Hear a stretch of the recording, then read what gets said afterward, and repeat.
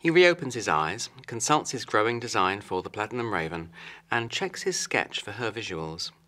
Its first description of her physical appearance reads, quote, Standing at the far left of the bar is a glamorous young woman, facing right and thus in profile from this point of view.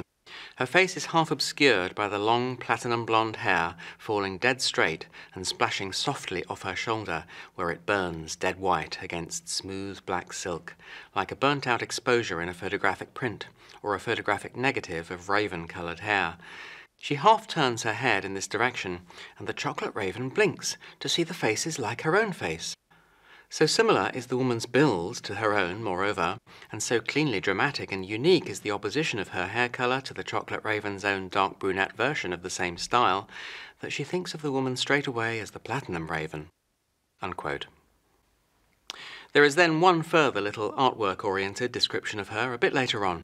Quote, she sees her own reflection growing clearer against it, blonde hair platinum, splashed over brown eyes, cheekbones top lit, lips curving up together, sensual as lovers.